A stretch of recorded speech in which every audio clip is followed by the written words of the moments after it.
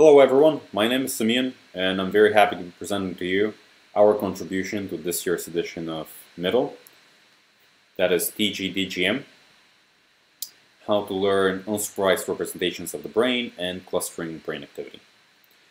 I will begin this presentation by stating our key modeling assumption, and that is that brain activity can be modeled as a spatial temporal graph, where the nodes in this graph represent regions of interest in the brain, whereas the edges can be derived as a measure of functional connectivity, or even dynamic functional connectivity, as I'll explain in this presentation. In addition, uncovering the hidden community structure that is the way the regions of interest cluster in the brain, can be key to understanding brain function and dysfunction, which is also something that we achieve with our model. The key goal is to learn multi-scale representations of the brain from the subject level, which uh, would incorporate information about the spatiotemporal graph of a single subject, to more local representations, such as evolving community and node embeddings. The learned evolving representations uh, can be used for downstream tasks, such as biological sex classification or identifying novel subject groupings. In order to explain our model, first I will give some brief notation. We assume that we have S subjects in our dataset, and for each subject we have a spatial temporal graph.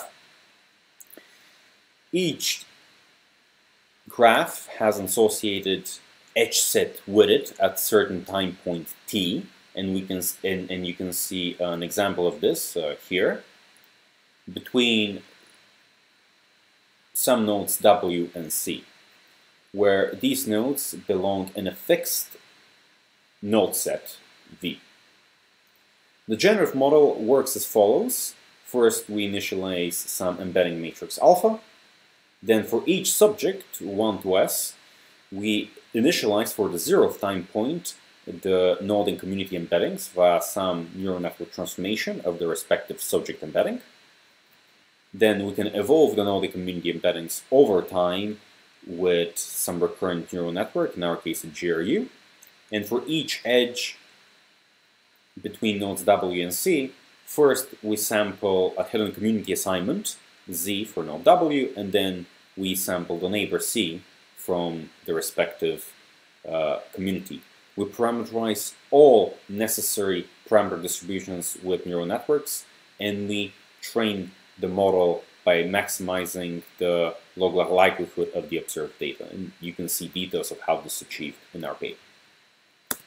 Take a look at some results we validate uh, the performance of our model on data from UK Biobank, on fMRI data from 560 gender and age matched subjects.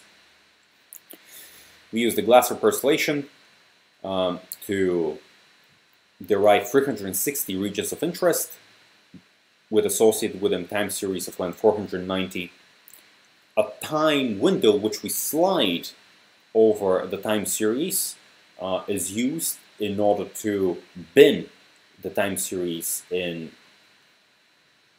t divided by w um, different bins that define the level of temporal resolution we can achieve. And then finally, after training our model, we apply logistic regression on the learned embeddings in order to predict biological sex, hence validate the quality of the learned embeddings. We do this at different levels of temporal resolution, as you can see in table 1. And we do this for the subject embeddings, the averaged community embeddings, and also a concatenation between the subject and community embeddings. In brief, the key takeaways here are that our model can in fact achieve pretty good uh, performance of up to 0.8%. Both the community and the subject embeddings are able to achieve such level of performance when it comes to area under the curve. And also, it is key to note that we demonstrate that dynamic functional connectivity in fact does improve performance on the task of biological sex classification. Thank you all for listening to my presentation, and if you have any other questions, I'd be happy to answer them. Thank you again.